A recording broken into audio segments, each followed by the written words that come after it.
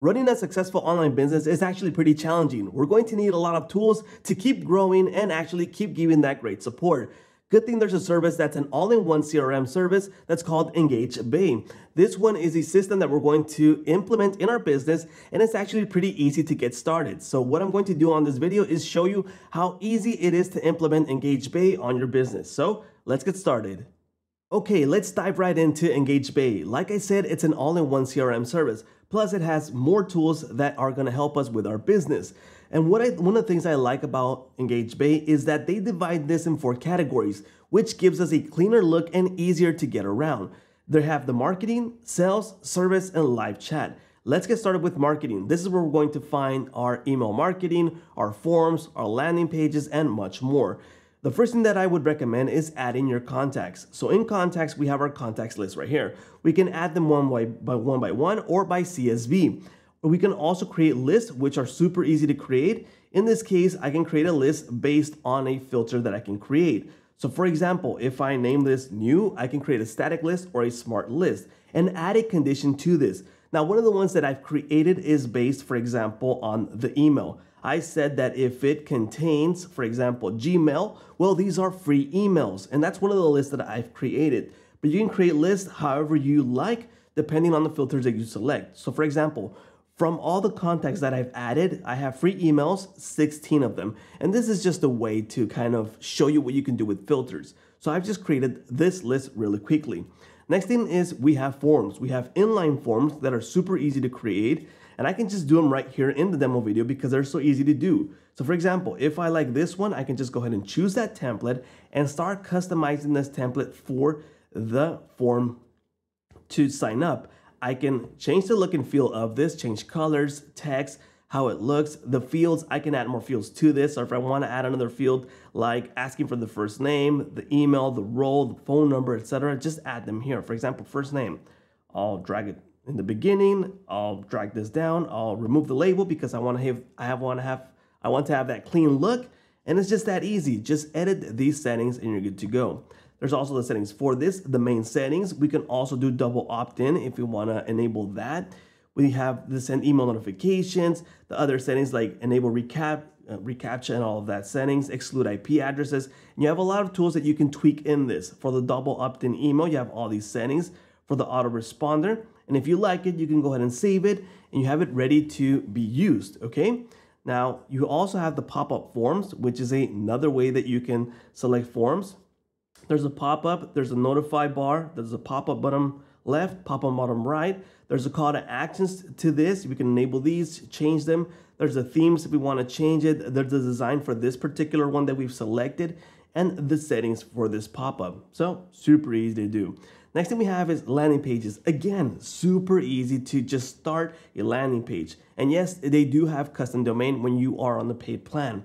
So you can see one of these templates that, that you like right here. For example, I don't know, if I like this one, I can go ahead and choose it and just start editing this template right here and customize it to whatever I need.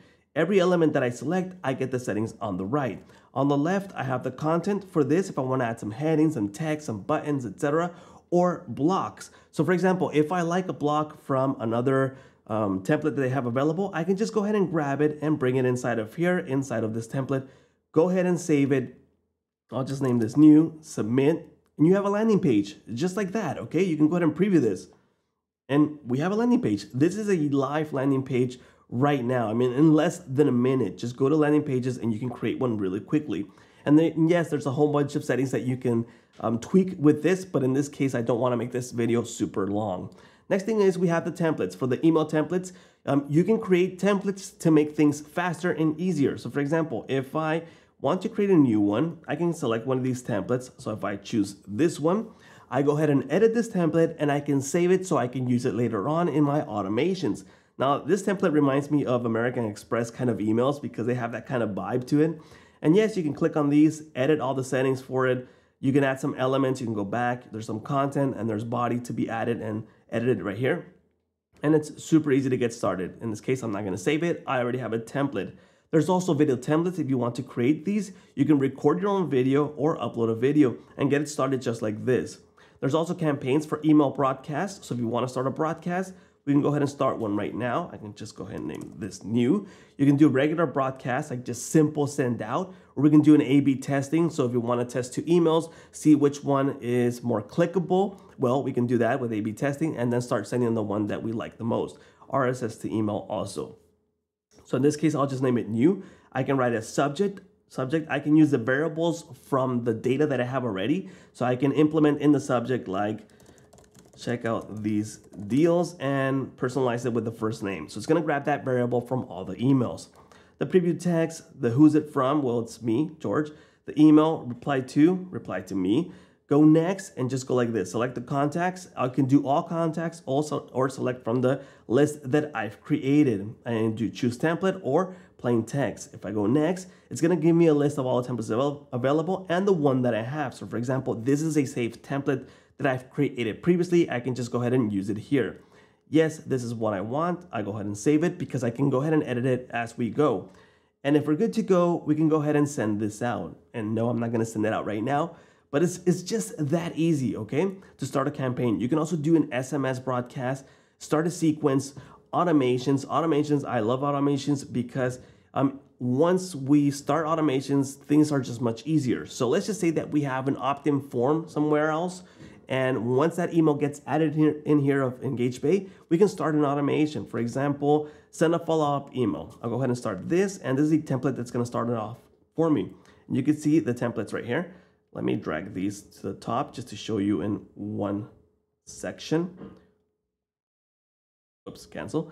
There we go. So this one says when a tag is added, it's going to start this sequence. So it's going to delay one hour, send an email, delay two days, and send another email. So if someone is added automatically to tag via a webhook, via opt-in form, etc., it's going to start this flow. And yes, we can do a lot with this. For example, these are the actions. So you can delay, you can wait till, set properties, add to a list, send email, just do a really complex automation here or keep it simple. And there's also the conditions. So if it's a custom field or if it has a specific tag or is it A-B testing, has a call log, etc. Contact score is above, etc. Contact has owner, all of that. And just start a really cool automation with this. Once you set, you can forget, okay? There's also the workflows if you want to start those off. And there's a bunch of tools available like Social Suite, File Repository, push notifications, site messages, sticky bars. I mean, if I just go through all of these, I would take hours to make this video because there's so many things that we can do. And like I said, there's a lot of tools with this. You can see the activity, the SMS log, and reports for this. Now that's just for the marketing section. Like I said, there's so many things that you can do. Next thing is sales everything related to sales. So in sales, again, we have our contacts, we have our list, and this section we have companies. When we create companies, we can use them here. And in the deals, we have like this kind of a task management system. So when we have a new prospect, we can create it here and we can add them to new, the prospect, the proposal. Was it won or was it lost? And we keep track of all the people that we contact in this section. So if you have team members in this, this is gonna be really useful for that section. For example, if I wanna create a new one, I can just go ahead and create it here. And if it's gonna be a lead, and where is the milestone with this person? So if we already um, made a proposal, we can set them for proposal and it's gonna be added here. But let's just say that we we have this one already and we have a proposal made for him already. Well, we just drag him over here. If you want to see this particular person or company, it's super complex, like all the information that we have. You can keep it simple or fill all of this out.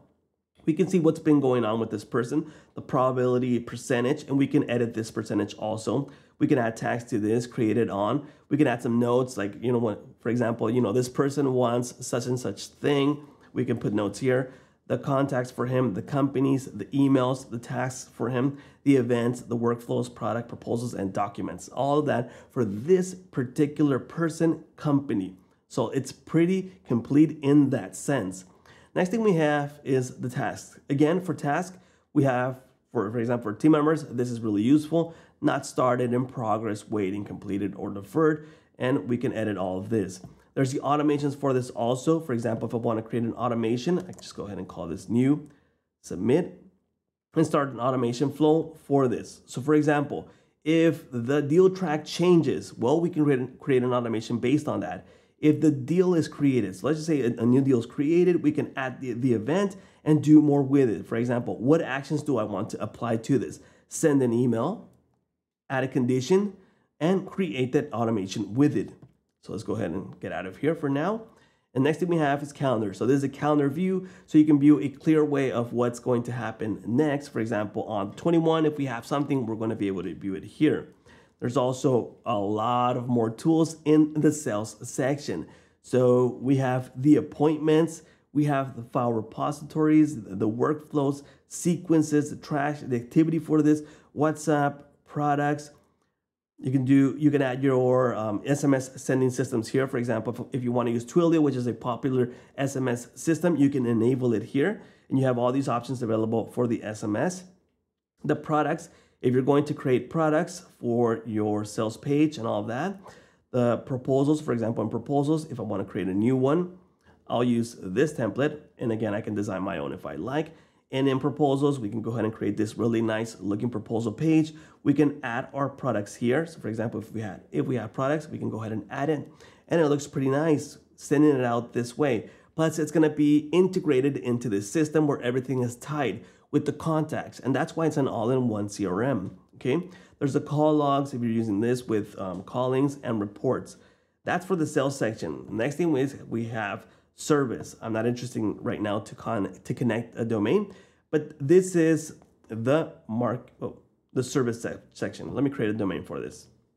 In service sections, we can create our ticketing system to give support like I mentioned before, growing a business and keeping great support and service is actually pretty challenging because you have more customers, more people contacting you, and well, the bigger the business, the more problems you have, and you need to solve them the more efficiency possible, the more efficiently possible. Okay, so for example, this is a custom a ticket that was created. This is a public uh, reply, the internal notes. So this is a starting typing. I can reply to this person. Okay. We have the status for this. Is it open, new, pending, or solved?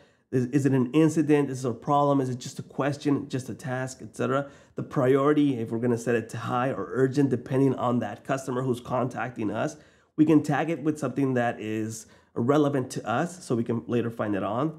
And if we want to assign it to another team member. So all of that is possible right here. Okay, let's go back with the ticket system. And we're gonna be able to view them here in the neat form and we have our filters to find it. And we can create one here manually if we need to, okay?